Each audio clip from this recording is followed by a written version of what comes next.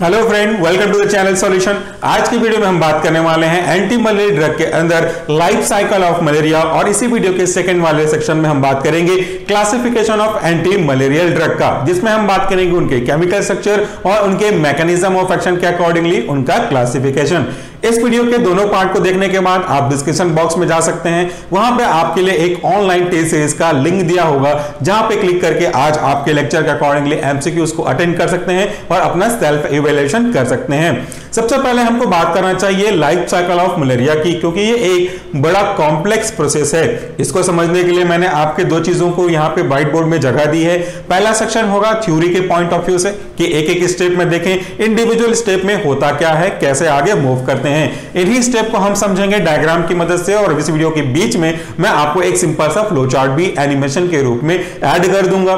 Animation के रूप में ऐड करने से आपको उनके स्टेप बाय स्टेप प्रोसेस को अच्छी तरीके से याद करने में मदद मिलेगी।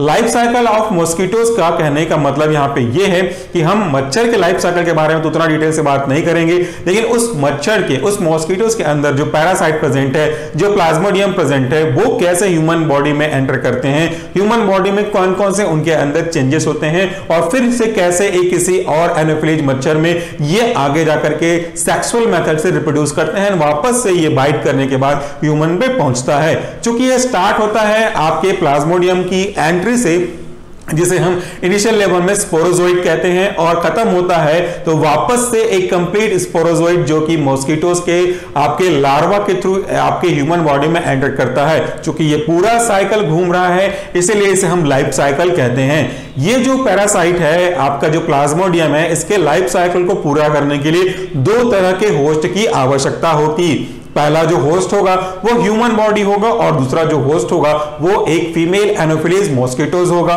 कई बुक में इसको सीक्वेंस आगे पीछे किया जा सकता है बट अकॉर्डिंगली डिफरेंट बुक्स ये सीक्वेंस आपको याद रखना चाहिए। जब कभी भी ये ह्यूमन बॉडी में डेवलप करते हैं तो उसके अंदर ए सेक्सुअल मेथड से रिप्रोडक्शन होने लगता है। इसके बाद जब इस तरह के मेरोजॉइड को, बाकी चीज़ों को एक हेल्दी मॉस्किटो सक करता है और इन्हीं के सक करने के साथ ये जो पैरासाइट के आपके जाइगोट्स वगैरह हैं गैमिटोसाइड्स वगैरह हैं, ये मूव करते हैं उस मॉस्किटोज में, जहाँ पे उन दोनों का गैमिटोसाइट का फ्यूजन होता है, फिर वो एक सेक्सुअल मेथड से रिप्रोड्यूस करते हैं, फिर से स्पोरोजोइड बनाते हैं और वापस से ह्यूमन में ट्रांसमिट होते हैं। इस तरीके से इनका साइकिल कंप्लीट हुआ। ओवरऑल देखें तो चलिए क्यों एक सिंपल तरीके को फॉलो करते हुए एकदम स्टेप बाय स्टेप प्रोसेस को देखना शुरू करते हैं। कंपेयर करते हैं आपके अपने लाइफस्टाइल से। यदि आपको कभी मच्छर ने काटा होगा तो आप उस चीज़ को इमेजिन कर सकते हैं। जब कभी भी मॉस्किटोज आपके आसपास के गंदे एटमॉस्फेयर से बाहर होकर के आपके पास पहुँचता है तो उसे अपने जीवन को जीने के लिए ब्लड की आवश्यकता होती है। और ये जो ब्लड का सकिंग का काम है, ये केवल फीमेल एनोफिलिस मॉस्किटोज करती है। तो जब कभी भी फीमेल मॉस्किटोज आपके बॉडी पे आकर के आपके ब्लड को सक करने की कोशिश करती हैं, वहाँ पे वो एक ऐसे केमिकल को रिलीज़ करती हैं, जो कि आपके ब्लड को क्लॉट होने नहीं देता, जैसे हम अपनी लैंग्वेज में एंटीकोगुलेंट कहते हैं। ताकि वहाँ पे चोट लगने की वजह से ब्लड क्लॉट ना हो और इजीली वो ब्लड को सक कर सके। एक तरीके से देखा जाए तो एक डायरेक्शन में वो आपके ब्लड को सक कर रही है, लेकिन अगर पैसिव डायरेक्शन में देखा जाए तो वो अपनी बॉडी में प्रेजेंट इस प्रोटोजोआ को लार्वा के साथ मिक्स करके आपके डंक के मदद से आपकी बॉडी में वो इंजेक्ट कर रही है। जैसे ही फीमेल एनोफिलिस मॉस्किटो आपके बाइट करने के बाद आपकी बॉडी में स्पोरोजोइड को इंट्रोड्यूस करती है, वैसे ही इस मलेरिया का, इस पैरासाइट का, इस प्रोटोजोआ का लाइफ साइकिल बिगिन प्रोटीन होता है। इसके बाद देखिए जो स्पोरोजोइड्स हैं स्पोरोजोइड का एक स्टैंडर्ड नाम है जिसको आप साधारण भाषा में समझ सकते हैं कि ये एक initial level of life cycle के स्पोर्स लाइक स्ट्रक्चर होते हैं। जिसे हम अपनी भाषा में बात करें तो बीजाणु जैसे हम लोग बोल सकते हैं, वो हम बोलते हैं। और ये आपकी बॉडी में इंट्रोड्यूस होते हैं, ये ब्लड में पहुँचते हैं। ब्लड का मतलब यहाँ पे अभी इरेथ्रोसाइट से नहीं है। एक ब्लड के थ्रू ये आपके लीवर तक पहुँचते हैं, जहाँ पे आपके इस मॉस्किटोज ने डंक के थ्रू बाइट किया था। तो ये जो स्पोरोजोइट है एंटर करेंगे फ़र्स्ट फर्स्टली लीवर में।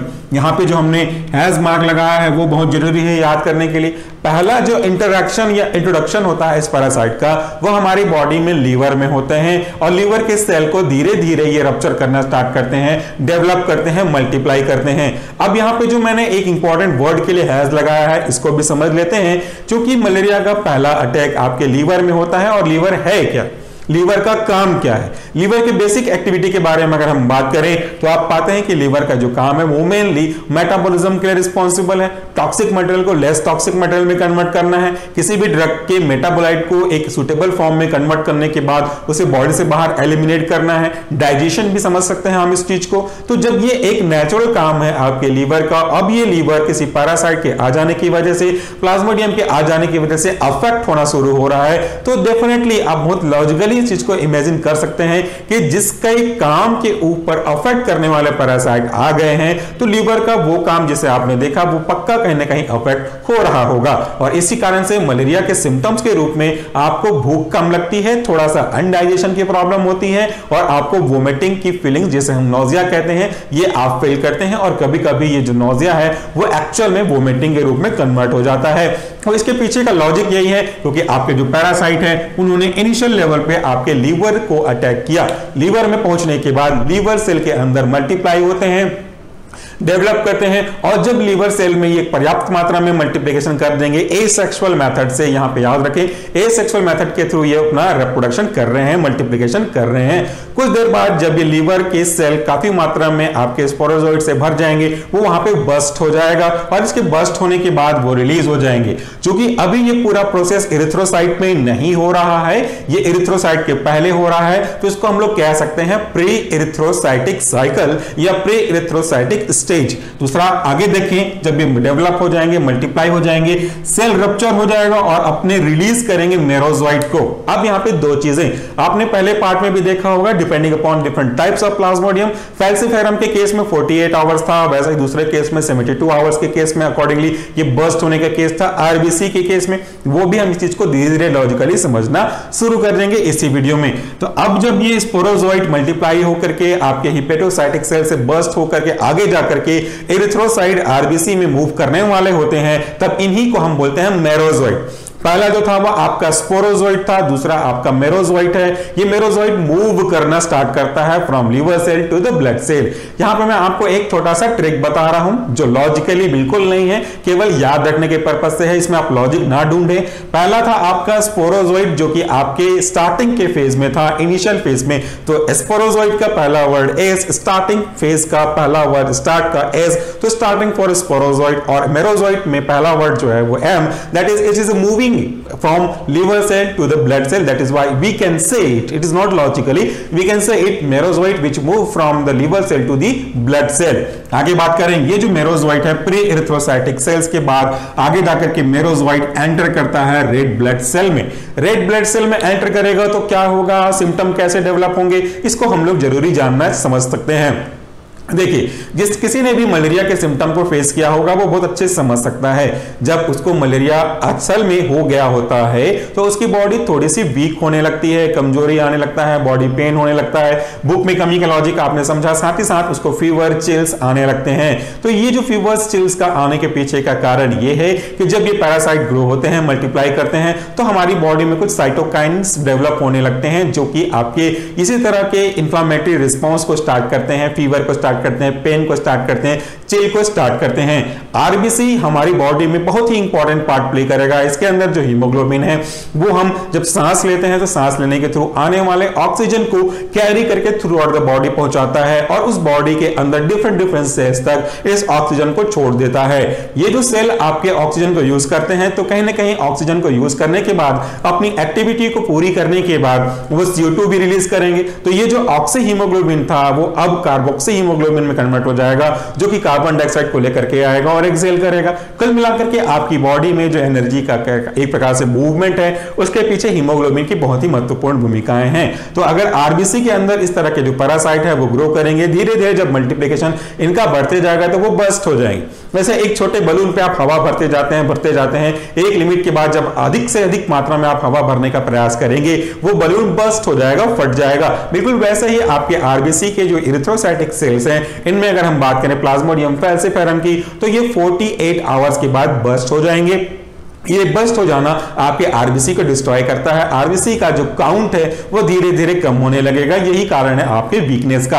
आगे बढ़ते हैं लॉजिकल पॉइंट को समझने के बाद। जब ये आरबीसी में पहुँचेंगे, तब वहाँ पे वापस ये डेवलप करेंगे और मल्टीप्लीकेशन करेंगे। यहाँ पे जब इनका डेवलपमेंट और मल्टीप्लीकेशन होगा तो इस फ़ेज़ को हम बोलते हैं एरिथ्रोसाइटिक साइकिल अब ये एरिथ्रोसाइटिक साइकिल क्यों कहलाया? और पहले का प्री एरिथ्रोसाइटिक साइकिल क्यों कहलाया? आगे आप देखेंगे एक्सो एरिथ्रोसाइटिक वो क्यों कहलाया? लॉजिकल है। ये पूरी चीज़ें कहाँ हो रही हैं? आपके एरिथ्रोसाइट एरिथ्रोसाइट मतलब रेड ब्लड सेल्स तो इसीलिए इस साइकिल को जो कि आरबीसी में पूरा कवर कर रहा है, इसी को हम बोलते हैं एरिथ्रोसाइटिक सेल ये याद रखें एरिथ्रोसाइटिक सेल में होने की वजह से ये जो साइकिल है, ये जो फ़ेज़ है, इसी को इसी के नाम के ऊपर पड़ गया एरिथ्रोसाइटिक साइकिल और एरिथ्रोसाइटिक फ़ेज़ आगे हम बात करें it need 48 hours in case of plasmodium falciparum जो आरबीसी है, उसके अंदर जब ये मल्टीप्लाई करेंगे मल्टीप्लीकेशन के बाद जो रप्चर होगा, उसको रप्चर होने के लिए 48 आवर्स टाइम लगता है। और अगर हम प्लाज्मोडियम मलेरिया के केस में बात करें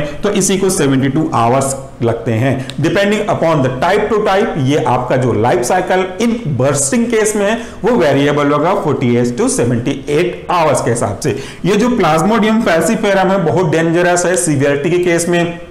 ये सबसे ऊँचा अपना स्थान रखता है। लगभग लगभग 90 परसेंट जो सीवियरिटी का रेट है मैलिग्नेंट टर्सियन जिसको हम लोगों ने पहला नाम दिया था, वो इसी प्लाज्मोडियम फेल्सिफेरम के साथ में ही है।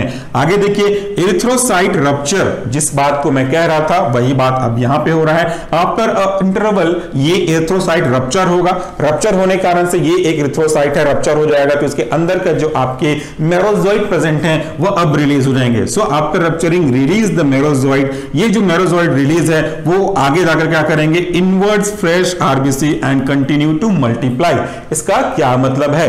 हम डायग्राम जब देखेंगे तो आपको और क्लियर होता चलेगा।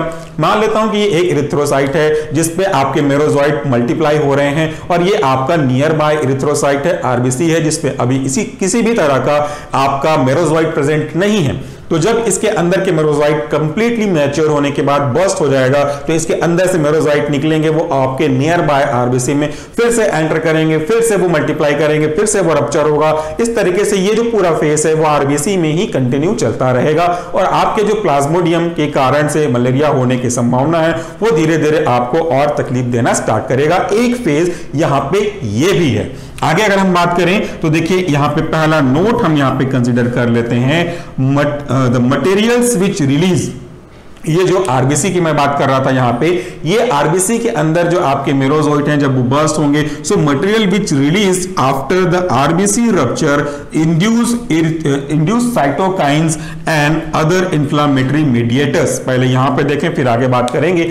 जब कभी भी कोई भी ऐसी चीज़ें होंगी जो आपकी बॉडी के नेचुरल प्रोसेस के हटकर के होगी नेचुरली कभी तो हमारी बॉडी में एक पर्टिकुलर लाइफ साइकिल के अलावा कभी आरबीसी रप्चर नहीं होगा बस्ट नहीं होगा नेचुरल प्रोसेस को छोड़ दें अगर एबनॉर्मल तरीके से नहीं होगा। तो ये जब एबनॉर्मली आपका आरबीसी मेरोजोइड को रिलीज़ करते हुए बस्ट होगा तो वो एक साइटोकाइंस रिलीज़ करेगा, जिसके कारण से आपकी बॉडी में इंफ्लामेटरी मीडिएटर्स रिलीज़ होंगे और ये आगे जाकर के आपको फीवर और other type of symptom chill pain ये सिस्टम कॉज कर सकते हैं। आगे हम बात करते हैं, देखिए, इन Plasmodium vivax and ovale the sporozoite in liver enters in dormant stage that is simply known as a यहाँ पे पहले रुकते हैं, फिर आगे बात करेंगे। इस डायग्राम से भी आप समझ सकते हैं। देखिए, जब कभी भी हम बात करते हैं प्लाज्मोडियम फैल्सीफेरम की तो ये रीलैप तो करता नहीं। पहले पार्ट में मैंने आपको अच्छे से एक्सप्लेन किया है। अगर आपने नहीं देखा तो पहले पार्ट से आपको स्टार्ट करना चाहिए। प्लाज्मोडियम वाइवेक्स ये आपके लिए दिक्कत कॉज करने वाले हैं, ये रिलैप कॉज करने वाले हैं। तो इसी तरह से वाइवेक्स के केस में देखिए या ओवाले के केस में देखिए तो ये आपको रिलैप कॉज करेंगे। इसका मतलब ये है कि अभी भी जो ये प्रोटोजोआ है, वो आपके लिवर सेल में एक डॉर्मेंट केस में छिपे हुए हैं। एक हिप्नोजोइड के फॉर्म में छिपे हुए हैं। इसी को हम डॉर्मेंसी भी बोल सकते हैं स्लिपिंग स्टेज भी बोल सकते हैं। वो आगे जाके एक्टिवेट हो सकते हैं। इसीलिए ये वापस से कुछ दिनों बाद रीलैप हो सकते हैं, क्योंकि ये छिपे हुए हैं। मौका देख रहे हैं। अभी एक्टिव नहीं है। That is simply a logic behind relapse और इसी को हम बोलते हैं एक्सो इरिथ्रोसाइटिक स्टेज तो आगे देखिए विच मल्टीप्लाई लेटर जो कुछ दिनों बाद मल्टीप्लाई करेगा, और आगे जाके आपका रिलैप कॉज करेगा and this is simply known as exoerythrocytic stage हमने तीन मेन मेन अलग अलग स्टेप के बारे में देखा, सुना और समझा। पहला है प्री इरिथ्रोसाइटिक स्टेज आरबीसी में आने से पहले आपके लीवर में और दूसरा इरिथ्रोसाइटिक से फ़ेज़ या साइकिल जो आपके आरबीसी में हो रहा होगा और एक एक्सो इरिथ्रोसाइटिक सेल जो कि बेसिकली अभी भी लीवर में ही हो रहा होगा। लेकिन ये पहले आपको दिखेगा नहीं, ये डोरमेंसी में जाएँगे। लेटर ऑन ये अपना इफ़ेक्ट दिखाना शुरू करेंगे।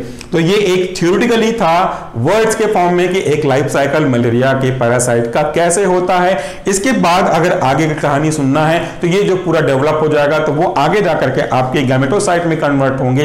ये गैमेटोसाइट में मेल अलग है फीमेल अलग है, और जब वापस से एक अनअफेक्टेड मॉस्किटोज आपको बाइट करने आएगा तो वापस से आपके ब्लड के थ्रू वो जो पैरासाइट के गेमेटोसाइट प्रेजेंट है, वो उनके स्टमक में पहुँचेंगे। फिर आगे डिफरेंट डिफरेंट सेल डिवीज़न के अकॉर्डिंगली ये जब फ्यूज होंगे तो एक नए स्पोरोजोइड को बनाएँगे। मल्टीप्लीकेशन होगा, फिर से मल्टीप्लीकेशन होने के बाद वो आपके, यानी कि मच्छर के सलाइवा तक पहुँचेंगे और इस सलाइवा के थ्रू वापस से जब आपके बॉडी में इंट्रोड्यूस होगा किसी हेल्दी पर्सन में तो ये लाइफ साइकिल जहाँ से शुरू हुआ था, वापस से वहाँ टच करता हुआ एक साइकिल बनाने लगेगा।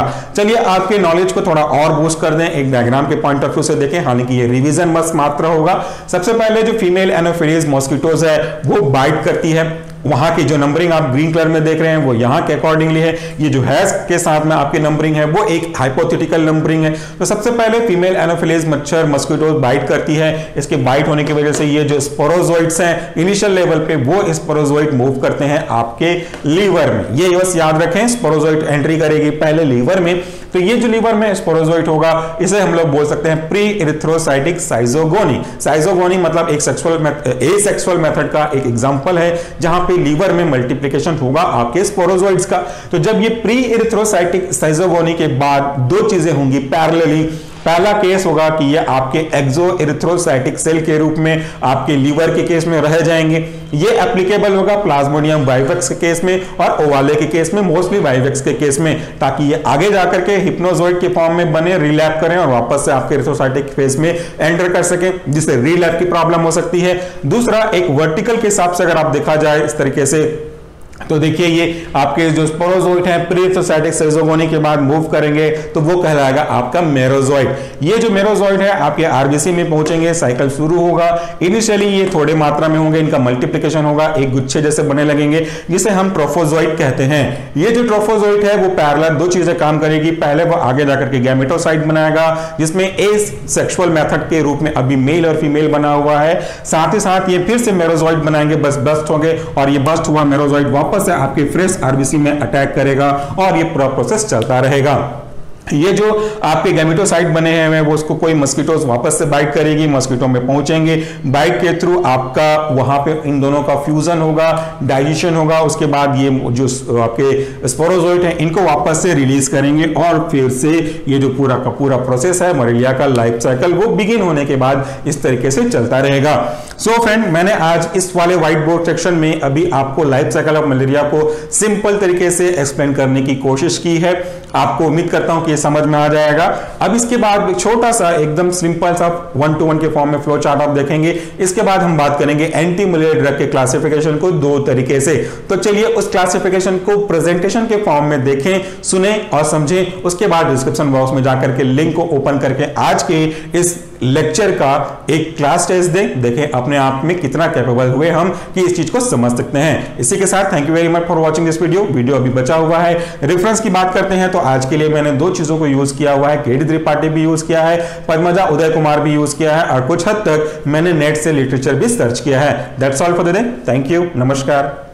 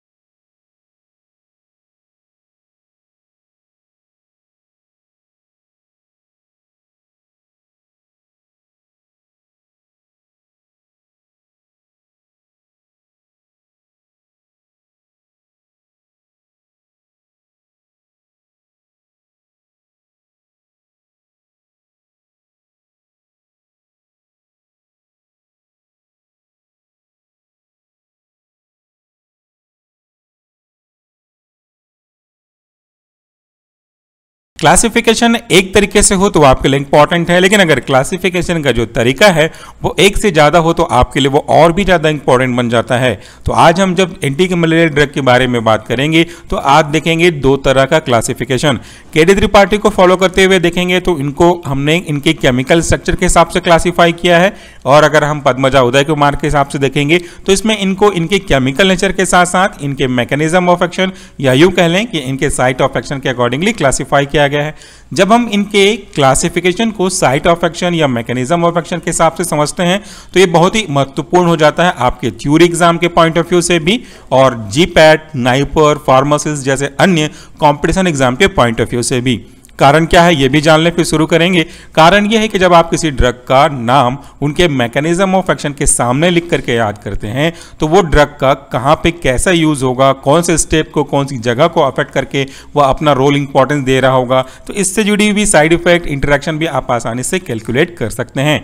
तो चलिए, अब हम शुरू करने वाले हैं आपके एंटी मलेरियल ड्रग का क्लासिफिकेशन अभी हम जो पहला मेथड ऑफ़ क्लासिफिकेशन देखने वाले हैं एंटी मलेरियल ड्रग का, वो बेस्ड है उनके केमिकल नेचर के अकॉर्डिंगली और इसका जो रेफरेंस है या जिसे हमने जहाँ से अडॉप्ट किया है, वो है केडी त्रिपाठी का लेटेस्ट एडिशन यानी कि एट्थ एडिशन पेज नंबर 875 सबसे पहले अगर हम बात करते हैं इनके केमिकल क्लास का तो पहला क्लास है फोर अमाइनो क्विनोलिन्स और इस फोर अमाइनो क्विनोलिन्स के इंपॉर्टेंट एग्जांपल में सबसे इंपॉर्टेंट है आपका क्लोरोक्विन क्लोरोक्विन के बाद अगला एग्ज़ाम्पल है एमोडिया क्वीन और पाइपेरा क्वीन दूसरा जो क्लास है, वो है क्विनोलिन मेथेनॉल और इसके अंदर का रिप्रेजेंट करने वाला एग्ज़ाम्पल है मेफ्लोक्विन अगला हम बात करें जो कि एक और इंपॉर्टेंट ड्रग है, इसका मैकेनिज्म एक्शन भी हमको समझना ज़रूरी होगा आने वाले क्लास में. यह है सिंकोना अल्कोलॉइड्स और यह आपने कोग्नोसियम में भी पढ़ा होगा. इसके अंदर का सबसे इंपॉर्टेंट एग्ज़ाम्पल है क्विनिन और क्विनिडीन ये दोनों आपके लिए काफ़ी इंपॉर्टेंट होगा। अदर अदर केस में भी इनका एग्ज़ाम्पल होगा। मलेरिया के अलावा भी ये हमारे लिए यूजफुल ड्रग है।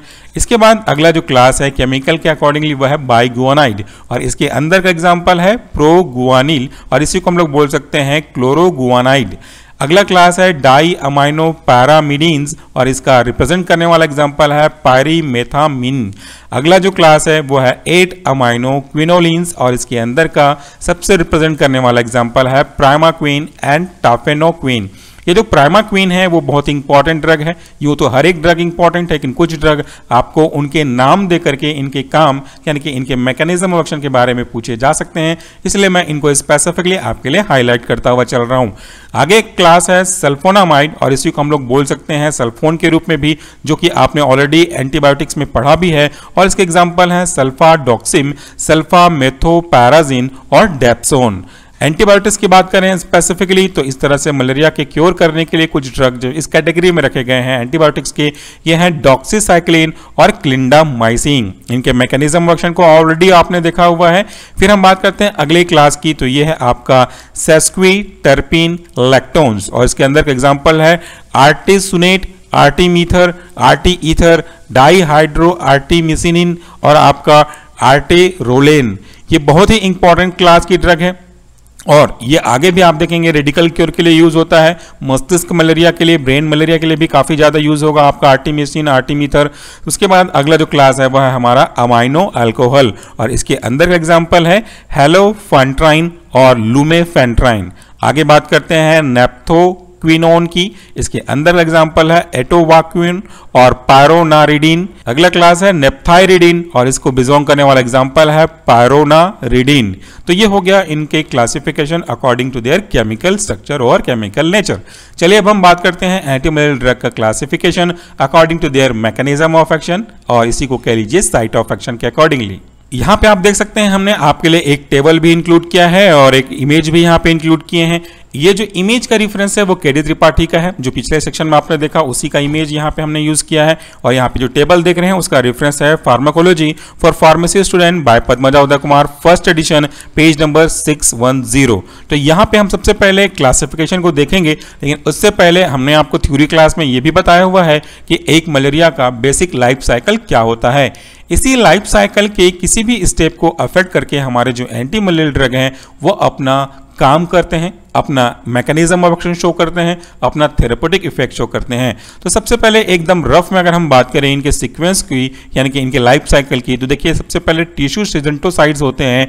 यहाँ पे आपका जो प्रोटोजोवा है, यानी कि जो मलेरिया के लिए रिस्पॉन्सिबल हमारा पैरासाइट है, एक प्रकार से वो इमेल एनोफ्लिस मॉस्किटोज के बाइट होने के कारण से, इनका जो स्पोरोजोइट है, वो आपके ब्लड के थ्रू होता हुआ आपके लिवर में पहुँचता है। इस लिवर में ये जो स्पोरोजोइट है, वो आगे मल्टीप्लाई करते हैं, फिर वहाँ से रिलीज़ होकर मेरोजोइट के फॉर्म में आपके आरबीसी में पहुँचते हैं और आरबीसी में पहुँचते हैं तो इसे हम लोग बोल सकते हैं एरिथ्रोसाइटिक सेजोजोनिंग यहाँ पे ये आपके एरिथ्रोसाइट को अफेक्ट करेंगे रप्चर करेंगे मल्टीप्लाई करेंगे और ये गैमिटोफाइट्स के फॉर्म में कन्वर्ट हो जाएँगे। और इसी गैमिटोफाइट को आगे जा करके कोई और मच्छर सक करेगा जब आपके ब्लड को तो वहाँ पर वो फ्यूज हो करके सेक्सुअल मेथड के थ्रू ये इनको रिप्रोड्यूस करना शुरू करेंगे।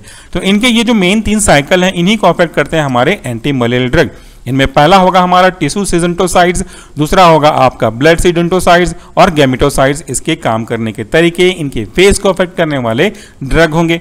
तो चलिए इसी इमेज को रेफरेंस रखते हुए हम इनको क्लासिफाई करते हैं इनके मैकेनिज्म के अकॉर्डिंगली सबसे पहला कंडीशंस या ये कह लीजिए कि स्टेज ऑफ़ देयर रेप्लिकेशन या लाइफ साइकिल तो सबसे पहले देखिए कैजुअल प्रोफालैक्टिक अगर हम इसको बेसिकली इनके प्राइमरी टिश्यू सिजेंटोसाइड्स के अकॉर्डिंगली क्लासिफाई करना चाहें तो ये एक ऐसे ड्रग का काम करने का तरीका है जो बेसिकली डिस्ट्रॉय करता है पैरासाइट को लीवर में।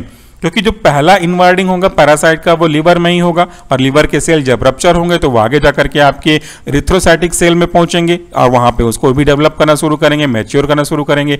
तो यहाँ पे इन्वेजन ऑफ़ रिथ्रोसाइट को प्रिवेंट करने का काम करते हैं हमारे कैजुअल प्रोफाइलैक्टिक ड्रग और इस कैटेगरी के इंपॉर्टेंट एग्ज़ाम्पल है प्राइमाक्वीन और पायरीमेथामीन ये जो ड्रग के नाम है, वो बहुत ही इंपॉर्टेंट है। तो आपका केमिकल क्लासिफिकेशन तो इंपॉर्टेंट है, लेकिन उससे कहीं ज़्यादा ये वाला क्लासिफिकेशन इंपॉर्टेंट है।